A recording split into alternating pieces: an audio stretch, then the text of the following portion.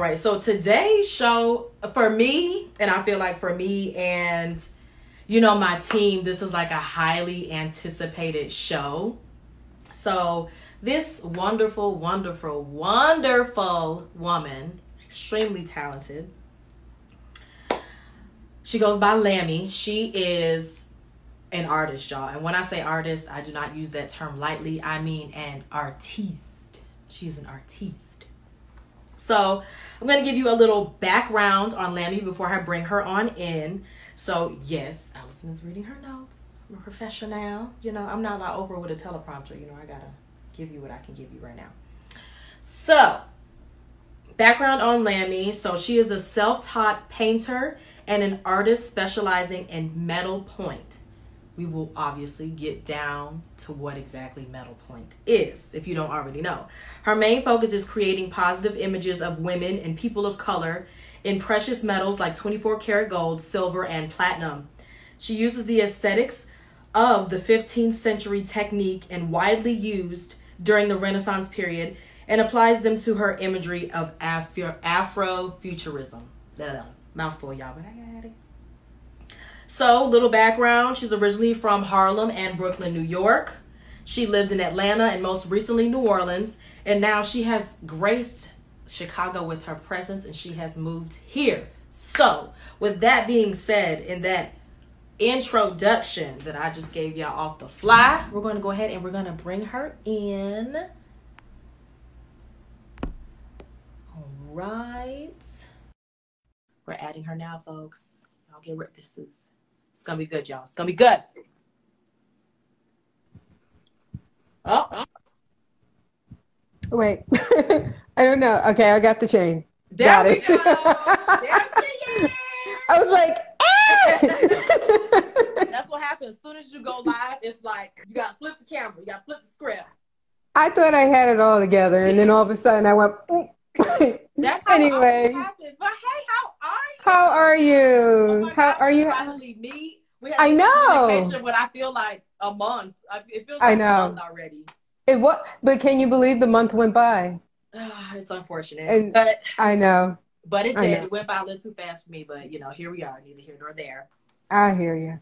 So, oh my goodness, welcome. Hmm. so we did the intro. I told the folks where you're from. So just I want them to hear from you. Give us a little bit of your background and just, you know, who you are, you know, what makes you you.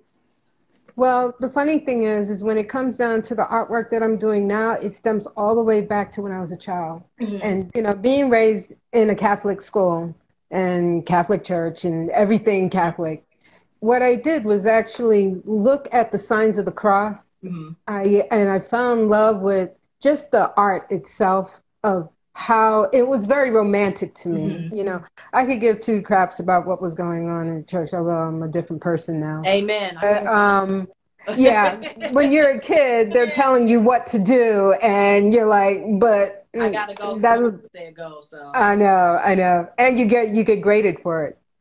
Um, anyway, so then when I discovered Leonardo da Vinci and um, Michelangelo and stuff like that, I really, really, really I, you know, your heart just looks at it and it moves and stuff like that. But just in the last five years, mm-hmm. when I started going through like going to museums and stuff like that, I go, what would it be like if the world was different mm-hmm. and we decided that we could turn around and go, do you know how beautiful those people would look if we were able to put a little bit of color, a little bit, you know, but but but when I say that, I'm talking about something like classic, something soft, because we're not associated with soft half the time.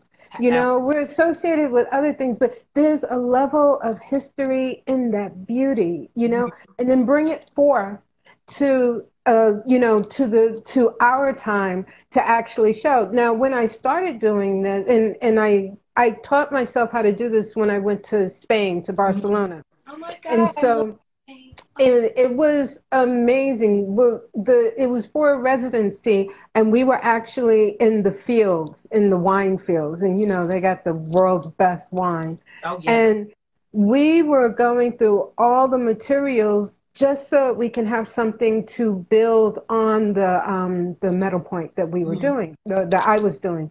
At the end of the day, um, as I brought it forth, I saw a never saw it before, saw the Black Madonna. Oh yeah. And then okay, so you're looking at the Black Madonna, and then the next thing you know, conceptually, imagine doing that instead of a sculpture or a painting, actually turning around and using that technique that's 500, I mean, not 500, uh, 15th century. Yeah, it's 500. um, and then bring it to what people look like now. Mm-hmm. And when I did that, and I showed it for the first time at the George Washington Carver Interpretive Museum in Dothan, Alabama, mm-hmm. I didn't know what how people were going to take it until they felt when they saw it, it made them feel positive mm-hmm. about themselves. And the reason why is because I took something that was precious, put it in their likeness, mm-hmm. and therefore they felt precious. They felt worthy. And yeah. so we're always wearing the jewelry. Oh, oh yeah, we just. But can you? Well, we just got style. But when it, but when it comes to when it comes to actually being the precious mm-hmm. metal, it took on a whole nother mind. It oh, took yeah. on, and I was, and I said, I got to keep doing this, and because it really like little children but mm-hmm. the thing that got me it wasn't just the little children it was the people who were 60 to 80 that felt that positivity of of the likeness right. and i was so happy you know doing that yeah because i think i've always admired art but i've never really gotten deep deep deep into it because like i said i don't feel like i saw a lot of me in it now we're talking mm-hmm. 2020. Oh, yeah. We can find, you know, people doing us, us people doing us anywhere. Like we just, I know. I know. are out there. But I feel like when I was growing up and then, you know, being a child and I lived overseas and I lived in Spain and I lived in Japan, mm-hmm. it was like mm-hmm. I didn't see a lot of me in art. Mm-hmm. So to come back to the States and then now as a grown woman and I'm growing and to see myself in artwork, it's just mm-hmm. it's fantastic. Like it's a beautiful thing to see because I feel like it took me, you know, 20 plus years to actually see that. I totally get it. Now, this is the thing you never stop growing. Oh, yes. If you stop growing, you're probably dead. But the thing that gets me, the thing that gets me is like if you get to see things, I didn't, it's not like I didn't get it, but when I was a kid and, well, when I was in 1990, actually, was when I started this and not meaning the being a full-time artist, being a, a painter. Um, I to I worked so much on emotion. I that's what got me was working on emotions like crazy. And the reason why is because we all are feeling what I'm trying to paint. Mm-hmm. Okay, so now I'm and and think of it this way: the first 20 years of me doing artwork was about me healing yep. about me working something out of my system, me trying to feel better about myself. If I can create something beautiful, then I've achieved mm-hmm. being beautiful. Yep. If that makes any sense. Yes.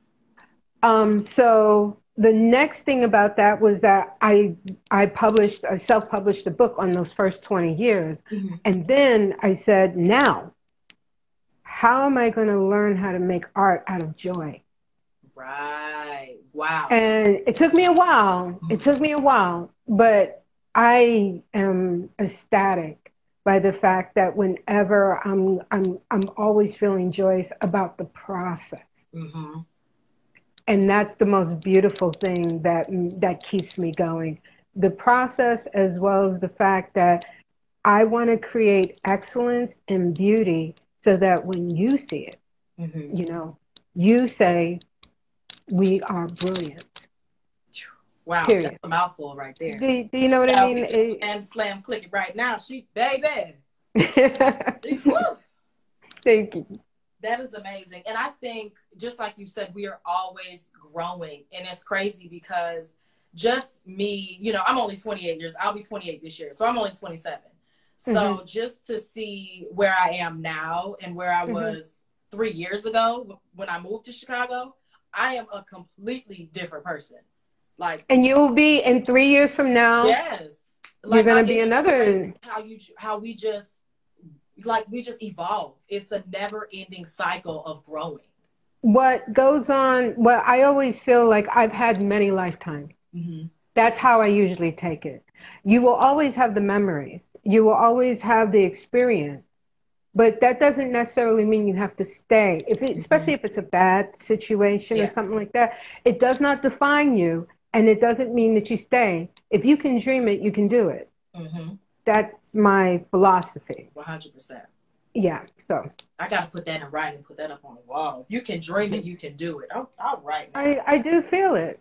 And, and, and always remember you're not alone. God is always with you. Oh 100% okay yeah. so i want to talk about metal point. So yes. I did. I watched one of your videos earlier, and I was like, I was in shock because I'm like, wait a minute, wait a minute, is she really doing what I think she's doing? So it's right here. This is just one. People, what is metal point? So metal point is actually drawing with precious metal. Now this here is silver. Mm-hmm. It's the real silver, just as silver. Well, actually, this is more silver. This is 99.9. This okay. one's 925. We mm-hmm. usually wear 925. Um, so the silver point is usually the most um, common, mm-hmm. but this here is 24 karat gold. Okay. And my mother in law actually gifted this to me. And I was like, well, how am I going to turn it into this? but you see the round edges? Uh huh. Perfect. I was able to do a um, silver, not a silver point, a metal point of 73 inches by 58. It's at Gallery Guichard right now. Wow. Took me months to do. It took me my I started it in New Orleans and then I finished it when I got here. Wow. And it was it took me months to do, but it's it's one of those pieces that I'm extremely proud of because it's part of the Indigo 7 series, which I've been doing.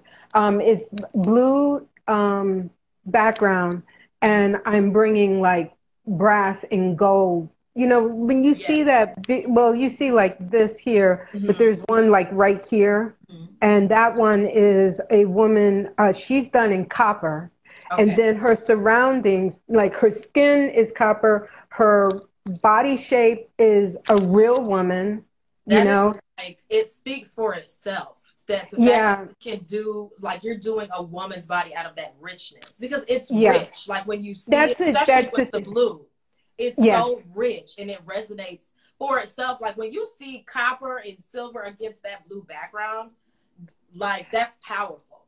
But the thing is, if you see it, mind you, it's metal. Mm-hmm. So what you're actually looking at is the reflection of light mm-hmm. on the metal. And it can't be like you're looking at me right now and you're seeing the light on me. But you see here, mm-hmm. I work on things like that. I work on this. I work on the highlights of the body, of the fabric, of, of the folds in the fabric, so that when the light hits it at the right moment, you are so drawn into it that you're just like, oh my God, I can't. And I, the reason why I love it so much is because it warms up the house. Mm-hmm. I create it in daylight, I create it in natural light, but then as the day goes on and the lighting in your house changes, mm-hmm. it changes with you and it's almost like mood feeling and it just it brings warmth. It brings you know that whole feeling of what you you know I, I love it basically. I love it. Look let some be in my price range. It's gonna be hanging up right here on the spot. Look I got a spot for it right we're already well I'm glad. Yeah we'll talk we'll talk. Yeah. So you know you grew up in Harlem and Brooklyn New York you moved to Atlanta, you moved to New Orleans. I could say why Chicago. Heck, I picked Chicago, so I know why. But why did you choose Chicago, all places? Okay, so the gallery that I'm in now is Gallery Guichard. It's in Bronzeville. Mm-hmm. Um, the most amazing thing is in New Orleans, I applied for the Bombay Sapphire Artisan Series. Mhm. Do you know what that is? I haven't. Um, okay, so Bam- Bombay Sapphire is the liquor. They're a sponsor. oh, they yes, do an the they do an artisan series.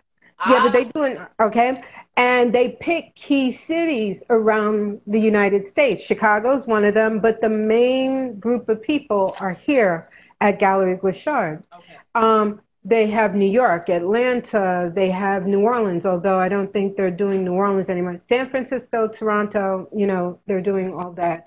Anyway, in 2017, I applied and I won New Orleans. Wow. And so I ended up going to Art Basel as, you know, to, to compete nationally. Oh wow. I didn't get in, Mhm. but, you know, my art was there. And then I got invited by the gallery Mhm. to they they invited me to to ask if I wanted to be a part of it. So part of their gallery. Mhm. So I was like, yes, I was excited. So Ship the Artwork came up to do the first show. Mhm. Me and my husband looked everywhere and we're like, oh my God, I think we're cheating on New York. And, and the reason why I say that is because we, our love is for New York. You know, we love our New York. But when we came here, yes. we were like, and okay, you, you know what I mean? Next, we gotta go. Yeah, and that was in uh, 2018. So then we came. I came two more times. He came twice. The second time, he actually applied for a job and got it. Oh, And so we were like, "Hello, gotta go. yeah, we're we're gone." And um, and the fact that I, you know, I worked with the gallery here already, it just felt like a no-brainer, you know. And the thing that I, that made me very happy was that they were the gallery that actually saw the work and they loved it and they knew they they didn't see anything like it ever Mhm. um but or maybe you you know they said they said I've never seen anything like this. So what happened was that the fact that I had all this body of work from Barcelona and from New Orleans, Mhm. they said, you know, they they have it, you know, and they love. I'm I'm so happy I have, you know, that to work on with me. Oh yeah, I gotta take a field trip. Are they open? You like come. They're doing something in. Uh, I think it's the 17th. I'll send you the information. Okay, yes. And it's a woman's show. oh, I'll be there. So, so not only is it a women's show, but also um, we're going to be doing an artist talk. oh yes. Yeah. Yes. I definitely have to be there for that. Sorry, it's up here on my calendar. It. So definitely like what is it like because you know I've never really had a conversation with an like an artist and a woman of color. Like what is it like to be a woman of color and to be an artist like that is your title, that's who you are. You know, that's your bread and butter. Because, you know, I'm, I'm an avid reader. I read a lot. So anytime I pick up a book and they're depicting an artist, they're usually, you know, they're usually white. You don't Mhm. read a lot about black artists. So, like, what is that like? How has it been trying to like get your work out there? And do you see a difference in, you know, your other counterparts that may not be black and may not be women, and how their work is viewed, and then how your work is viewed as well? Well, when I first started in New York, I started an art, um, what do you call it? An art group called Sonia, South of the Navy Art Artists in Mhm. Brooklyn. And it was a way for artists to get together, you know, stuff like that. And in my mind, I do have to tell you that you do things collectively Mhm. so that you can be part of something and get your work out Okay. you know um, so that being said you still have to figure out how to navigate Mhm. because remind uh, remind you i'm a self-taught artist most artists that i was around in brooklyn went to school Okay. okay so to me i you know i always felt like i had to work harder you know you know how they always would say the black tax Yeah. okay You gotta work. so it, it wasn't just, I never saw it as me being a black woman. You know, that's just a given. If that's your reason for not doing, that's on you, ain't on me. Mhm. Kind, that's how I have to say, take it things. Yes. So then, um, going down to to uh, Atlanta because I went from my mom when she was sick. So this is the thing. It turns into who you know. Story of our lives. and not and not what you know. Mm-hmm. Okay. Then I I mean I did every little thing. I did all these pieces of artwork that were like and, and tons and tons of smaller pieces, did a lot of work, living and breathing. And for some reason, the bigger pieces always seem to go off the walls. Hmm. But I usually use the bigger pieces as to draw people in Mm-hmm. and then try and sell all these little pieces. Yes. Okay, I use that same formula in in, in uh, New Orleans, Mm-hmm. and then that's where I met my husband. And he turns around and he says, "Do you realize you put just as much work in the smaller pieces than you do, they, just like you do the bigger pieces? hmm Concentrate on big one." And I was fighting him. I really was. We don't want to. We don't Um, to accept it. It's like no. yeah, but at the same time, when I started concentrating on that, it really did make a difference. Mm-hmm. because then I I still had I had a job at the time, so you know, but then just as I started doing the Silver Point, I left the job. Mhm. We went to Spain, and I've been doing it ever since. And I have to tell you, the amount of work that I've been putting into the pieces actually is worth it. And if you know if you know the artwork, if you know the technique, if you know all that, then it's fine. But you got to actually explain it to people Yes. because they're not going to know. Okay, then you turn around, and if you're a black woman. There is a chance.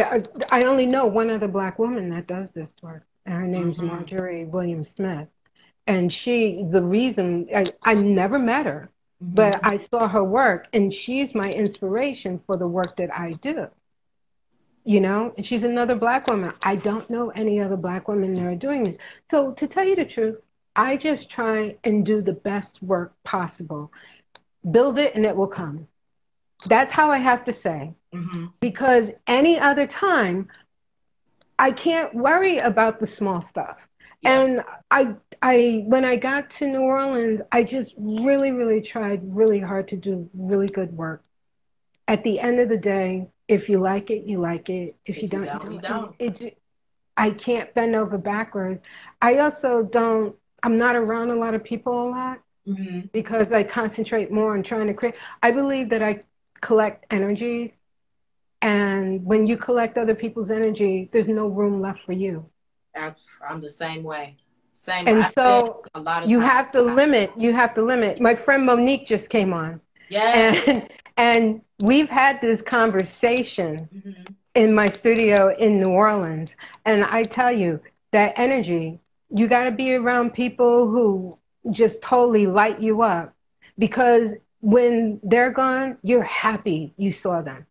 Yeah. you happy that it because their energies help you create something else and then you you know things like that but i limited myself to a to a lot of people i i mean to a short Mhm. short list of people you know so that being said i care so much more about creating the work if you are going to not like me because i'm self-taught because this is the other thing i forgot to tell you. My work there's a self-taught dynamic. Mhm. and it's outsider and it's more of naive art.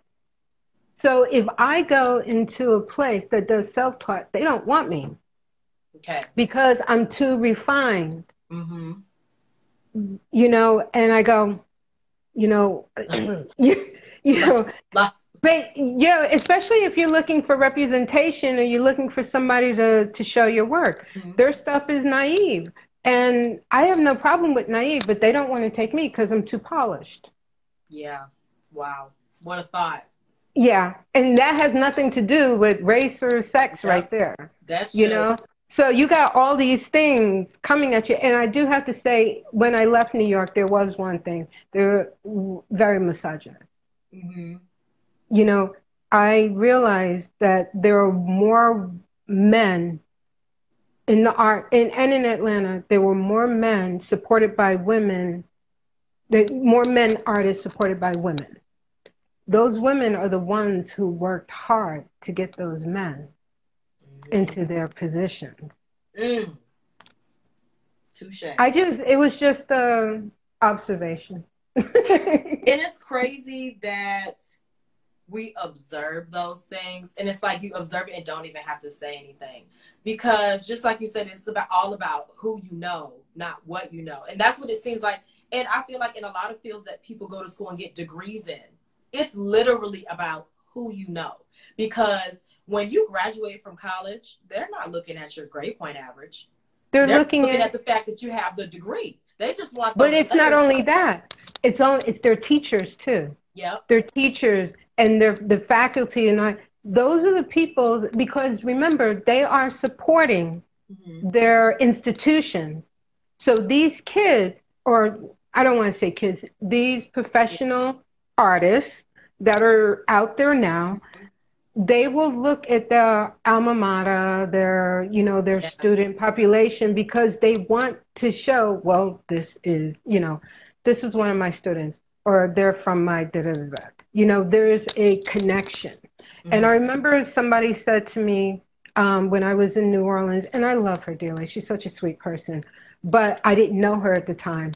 And I was recommended for a residency in New Orleans. I'm not going to mention it, but they know what it is. and they and as I was applying, I didn't get in. And then I met her maybe six months, the, the executive director, six months after the fact. And her wording was, I wish I knew you. If that I couldn't, doesn't speak volumes, good Lord. But then this shows you how good she is. Mm-hmm. Because at the end of the day, when I did meet her, she explained that so well that I didn't feel defensive. Mm-hmm. Because the first thing we do is we feel defensive when we don't get what we want. Yes. You know, I but I, yeah. And so it's not that I really wanted to get with but I'm like, well, you didn't look at the work, you know, and you know, artists are going to do that. Mm-hmm. My work is, uh, but um, at the end of the day, you sit there and you go, maybe I wasn't supposed to. That's the way, greatest thing about life. You can let go of things. Yeah. Oh, say that. You, you sit there I'm and you go, it, Lord, I'm working on it. Yeah, yeah, yeah. I'm working. You go like this. Yeah, you go. You go yeah, I wanted it, but I didn't get it. God got something else going. Okay, I'll just leave it in his hands. you know I mean? That mindset, y'all better watch out. I'm working me, on it. Oh my goodness. You'll get there probably faster than I will, than I did. and look, times are ticking. I'm ready to be done with it. I'm ready to be over it. So I know we've already touched on, you know, you being self-taught but and you know you you know how you have to navigate yourself around mm-hmm. to get your work out there but how difficult was it to be self-taught because i wouldn't even know where to start i've been doing this since i was five the only thing is, i do have to tell you go back to self-taught it's not so much that it was the self-taught part it was the part that it was therapy for me mm-hmm. I, without anybody looking at it i used to get bouts of depression and I would be either writing poetry or doing sketching. And then I would be happy again. And, you know, life would happen. And then I would get another bout. Mm-hmm. But the funny thing is that each time I came back to it, I was better than the last. And and when I was doing it, uh, you know, my aunt's boyfriend put a pencil in my hand mm-hmm. and showed me how to do a stick figure at five years old and I've been doing things, you know, like I've been very interested in people all the time. Mm-hmm. And so my inspiration is people I create. It's not really difficult. The only thing is is that you have to believe in what you're doing. You have to believe that you can get to the other side of drawing that first line. You, you know what I mean? Mm-hmm. There are days when I could give up and I go, Mm-mm, you know, it's like, just, why, why give up? You've made it so far. Well, there are days when you, you know, there there are some. Let's just say for me, I always think about, oh, I wanted that so badly. Uh-huh. And if you don't get certain things, you feel like you fail. Yes. Oh gosh, 100%. But and and then you want to give up. Mm-hmm. But I don't go into that really bad depression like I did when I was a kid and in my 20s. I just go, mm, and then all of a sudden I sit still for a second, and then I go, something's coming. If I didn't get this, something is coming. I wasn't supposed to get it. Mm-hmm. Wow. I have to remember that. I have to remember that. And so when it goes to the self-taught thing, I just I just think it's all about evolving from the next to the next to the next to the next.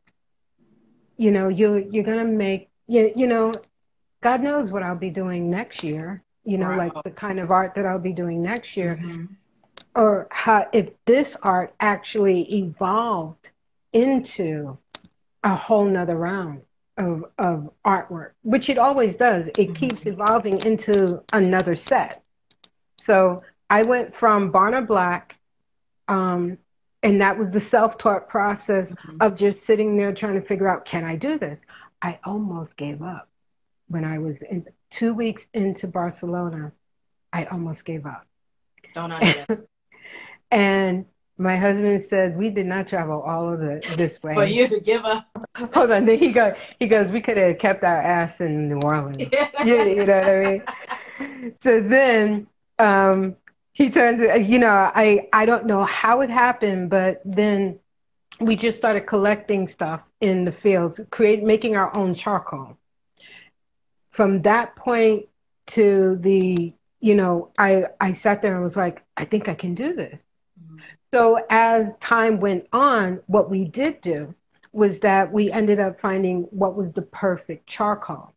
And then once we got to the perfect charcoal, which turned into like butter, you know, it it just made everything better. Then when we came back, it was just we we evolved the charcoal into chalk, black chalk, uh, acrylic. And then as time went on, we said, okay, we're not going to do this we're going to do that. You know i do it he just he's i, I call him my uh my research and development guy. Right. Because he always comes up with things and i go mm, and then you know i'll implement. Mm-hmm. at the end of the day i won't give up. You know i want to as a self-taught artist but i won't give up because i'm like mm, there's so much going on in this i can do it I can do it.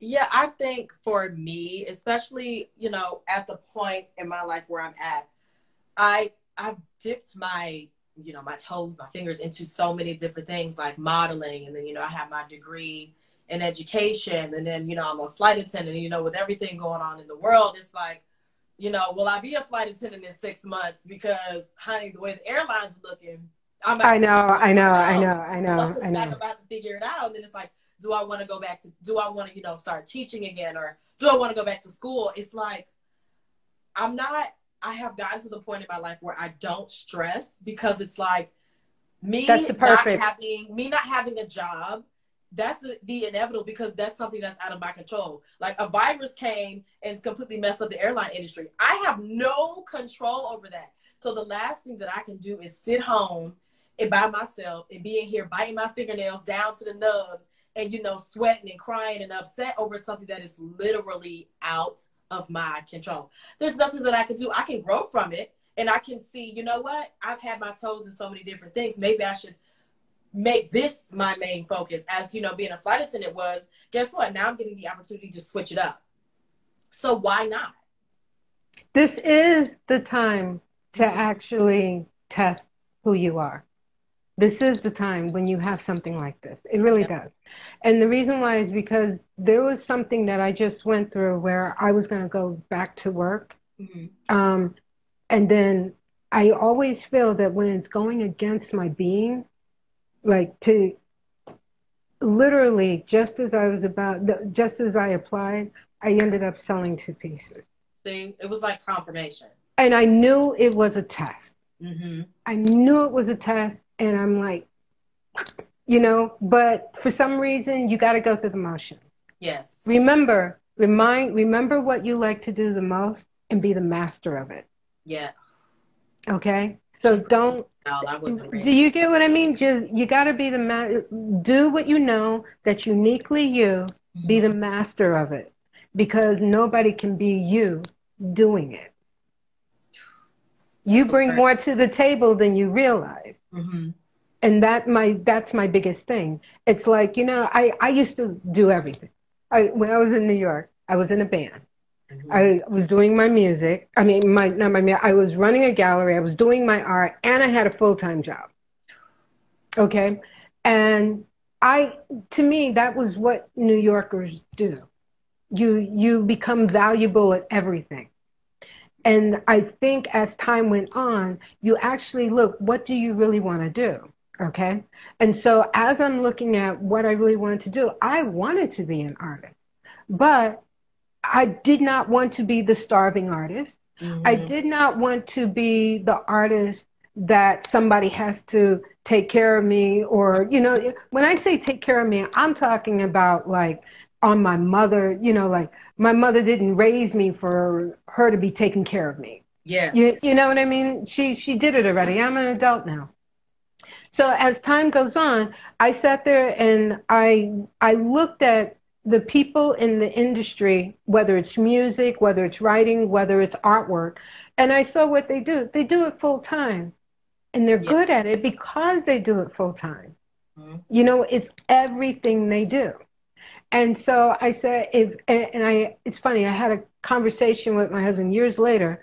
Um, I was like, if I could just find a patron or something and turn the creation of artwork into dividends, you know and when i sell a piece of artwork they get a dividend of it mm-hmm. you know and i thought about that. And i swear within six months later we ended up in in spain. You know it, it it's like the dynamic the dynamics kind of change. And what i what was very important to me back in the day is really is not that important because the other thing that i realized that being a New Yorker, and not saying all New Yorkers elected, but I think as a society, we really do concentrate on the material things. Mm-hmm. And we don't feel validated unless we have the material thing. Yep. And that's why you need the extra money for this and the extra money for that. And, you know, at the end of the day, I just sat there and I realized I don't need two or three bedroom apartment with a TV in each room, with a stereo in each room, and you, you know what I mean? Mm-hmm. It's like I would love it for other things, but yes. it was only me at the time, and I had a two bedroom apartment, and I, you had to see how you downsize things, and then you realize you put value on the wrong things. That You're not putting my generation to a T. I think so much in my generation and just how the world is right now, we put so much value on material.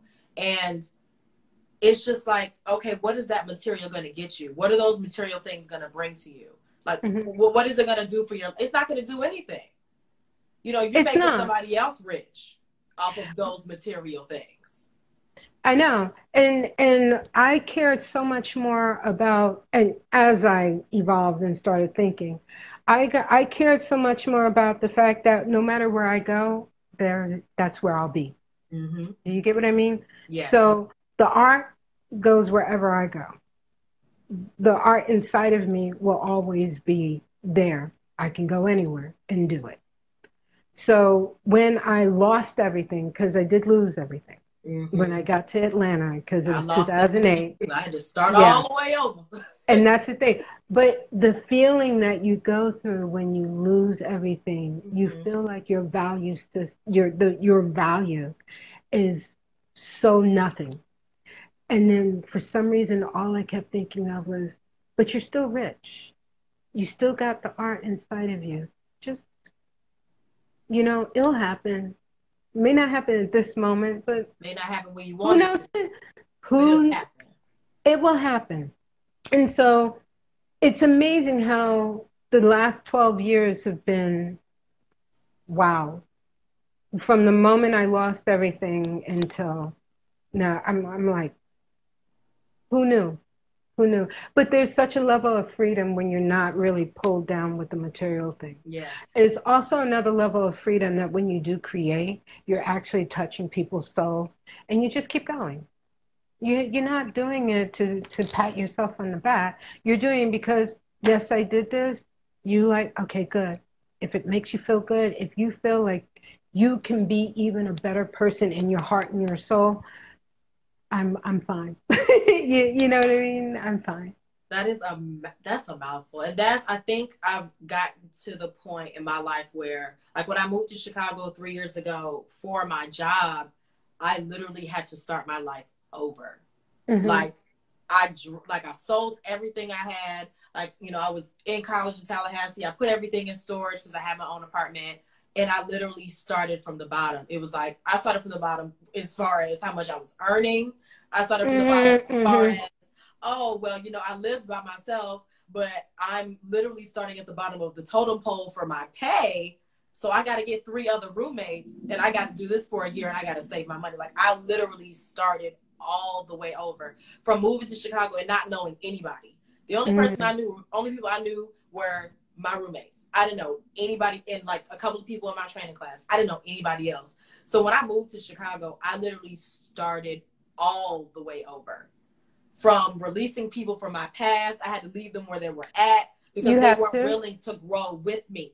So I had to literally say, you know what? For my sanity and for my growth as a person, I have to leave you where you are because you're not willing to grow with me. You're not willing mm-hmm. to take this journey. So if I sit here and I try to bring you with me, you're going to bring me back down. Because before I moved to Chicago, I was definitely in a rocky place deciding whether I was going to go back to school, if I was just going to work full time. Like, what was I going to do? And mm-hmm. when the opportunity came about for my job, at first I was like, you know what? Nope, I got my mind made up. I'm going back to school. I'm going to get my master's. No. And then I went home for the holidays and it was like an epiphany because my mom was so. Like, you had an aha moment. It was an aha moment because my mom was like, "Baby, you can just stay home. Like you can even move back home and you can live with us and save our rent. You can take classes online." She was giving me all. She was giving me the good stuff. And then it was like I was in Walmart with my sister. We I will never forget it. We were in Walmart. I was looking for cotton balls, and I got on my phone and American Airlines. They sent me an email to set up my interview for them to fly me out. And I literally was like, I told myself, I said, "Sis, I'm gonna do it." She was like, oh, okay. Because they were both like, uh, whatever. I was like, you know, I'm going to do it. I'm going to see what it's like. And then the pro- from the time that I decided that I was going to take that journey, it has been smooth sailing. Literally from leaving Tallahassee. When I tell y'all, I had an apartment and I only had that apartment for like three to four months. And I had a year lease. And it was either you pay out that lease, you find somebody to take over your lease, or they gonna send that debt to collections because they want their money. Mm-hmm, so mm-hmm. I was mm-hmm. like, oh my God, what am I gonna do? The day before I was supposed to pay rent, y'all, somebody subleased that apartment. It was like somebody literally walked. I somebody my man the management called me and was like, "You left the apartment so clean." That young lady walked in there, she looked at it, and she wanted it. She signed that lease on the spot.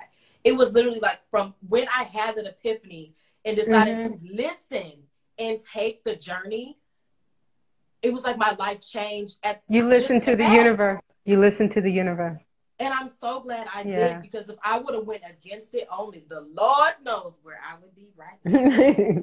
but it was like yeah. when i decided to take that journey and i listened it was just up from there from you know getting all these opportunities with my company you know i did a photo shoot for them i've been in a campaign and you know i've traveled to see the world you know i did that when i was younger but now I'm getting paid to see the world. And it's just like, if I wouldn't have listened, where would I be?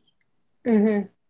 And to be where I am now, it's like, I it's it's unbelievable. Sometimes I can't find the words. Like I just walk around in my apartment sometimes and I'm like, I how did I get here? Like how did I make it here?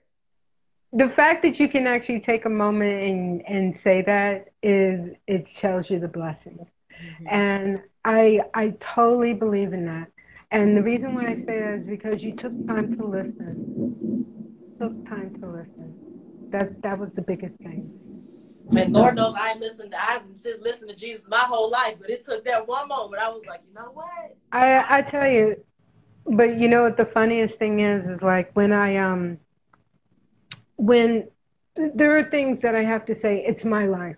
Mm-hmm. I can't.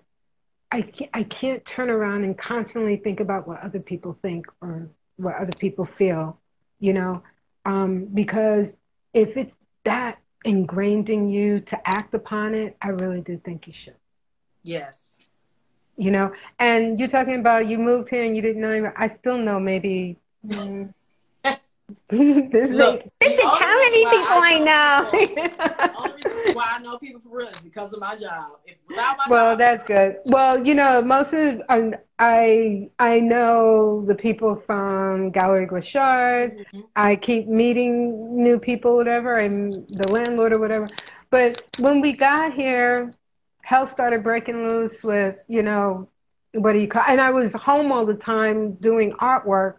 So you know, I didn't really pay attention. I thought I was going to have time, and I didn't because right. everything you just happened. And so everything I've been doing is actually online, which I never thought I would be doing. But mm-hmm. it's like now, now everything is like a reality show online. everything wants to be a reality show. I know, I so know. So there was one question. Let me tell you. Yeah. Let me came. She sent me a whole look. This is how I need my guests to come. Okay. Uh, if, I uh-huh. ask, if I email you and I say, "What would you like for us to discuss?" You better come with this. Okay. She sent me an email, baby. Okay. so this is something I really, really, really wanted to touch on. Mm-hmm. How art has been the catharsis, storyteller, and the purveyor of the soul of our people. Well, think about the, the, the sign of the times that we're in right now. Mm-hmm we know more about our history now because of the writers, mm-hmm. the artists. Um, it okay. When I was growing up, I didn't see a lot. Even though I was raised in Harlem, mm-hmm. I knew the I knew the pe- black people that I was around, family, neighbors, and stuff like that. But you don't read about it in history. Mm-hmm. You get a paragraph in this whole book that's this thick. You get to college and you're like, you don't know. And then the funniest thing is, it's like you, I took African American history three times, mm-hmm. but the teacher was so volatile because I did not like how he was teaching. It, he was turning people against and angry mm-hmm. towards each other. It drove me crazy. The fourth time I took it, you're going to laugh. It was a gay, white, British teacher. But he knew what he was talking about. He knew everything. But then if you think about it, there are more people in around the world that know our history at the mm-hmm. time that knew our history more than we knew. We didn't know it. And then on top, so then go to the other side of this. So you're happy that you're seeing so much happening in your history class, but then, and this is the black people, mm-hmm. but the white people were fighting it. Yes. Because they were not, they, they thought it was lies of the things that this particular man was telling him. Mm-hmm. And he, and, and, and then as time went on, I, you know, the greatest thing about uh, being in the South for the amount of time, especially New Orleans, they know their history inside out that in ways that they do. Yeah, they know their history inside out because guess what? There's, it's their descendants, mm-hmm. it's their ancestors. It's kind of almost immediate, one line down, you know. So they can actually tell. And if it's not their descendants, it's their neighbors' descendants or their you, you know what I mean? Yes. There, it's in New Orleans. Everything feels like it cannot be past a two degree. That's how intense the culture is with the history, mm-hmm. and it's in the artwork, it's in the writing, it's in the music. Oh, the these music. things. So think about how these three things have actually turned into a phenomenal way that people were able to preserve their culture without anybody fighting them. Mm-hmm. You know, and that is how I see it. Now, I've gone through my own, you know, like depression, when I was in college. I do have to say that at one point, you know, you're trying to prove that you are a good person, you know? And at one point, I woke up in the middle of the night in one of my bouts of depression, and I said, you know, no matter what I do, they're always going to see a black person. Regardless, they're going to see that before they see anything else. And to me, I'm like, okay, so, you know what I mean? And, and it's like, I have no control over that. None. All I have control over is me. You know, that took a whole lot of weight off of my shoulder. I know what I know. I know what I like. I know what I, love to do in life. Okay, just just the same things. Just I'm older, but I do have to tell you that freed me up because I refuse to let anybody tell me anything less mm-hmm. about. Well, you know, you're different from those people, or you're this what else is in you? You, you, you know what I mean? Yeah. There's a certain certain uh, separation that they try. Okay, you can be a little bit of black, but you don't really act black. But as time goes on, mm-hmm. as time goes on, the one thing that you definitely have to say is you just need to know more black people because apparently I know more white people than you know more black people. And problem. You, but the thing that I can tell you is that it's not about the white people. When I look at white people, I'm not looking at, I'm looking, he's Jewish, he's mm-hmm. Italian, he's the, because they bring a different mix to the table. It's the wasp, I guess, you know, that you, you think about. So in the black community, you have Jamaican, you have Southern, you have Brazilian, you, you have, have Nigerian, you got and we and you have Nigerian, oh, Asian, man, we could go Senegalese, Senegalese, because I love Senegalese food. And the thing that gets me is that each one of them, no matter what race you are that they put you in, they bring a whole nother dynamic to it you know? And so at the end of the day, I sit there and I go, I can't think like that. It's going to mm-hmm. drive me bonkers, especially if you're going around with a little bit of free thought in your head. Yeah. Yeah. okay. I got a lot of free thought up here. if you when you have the free thought because you know other cultures yes. if you have not known other cultures and you only know your culture if a tree fell in the forest are you gonna know? there you go. Nope. Wouldn't have a clue. So I have to totally feel that in order for any sort of healing to know, I mean, any sort of healing to happen, is to know that there's a hell of a lot more to the spices in this meal that we are making to make it a good meal. That's all I'm trying to say. That's there's all, so you, you know what I mean? More. There's so much more that we just and my my friends and I, man, we had we had a heated conversation the other day because it's like, how can we? Fi-? The question is, oh, everybody, how can we fix it? And like, I, there are so, and like we all agree, there are so many moving parts. There's so much that everybody doesn't know, and like just like you said, our history. You know, a lot of black people, we don't even know where we where our ancestors come from because I don't have a clue. People stop me on the street all the time and I'm like, "Are hmm. you? Well, what are you?"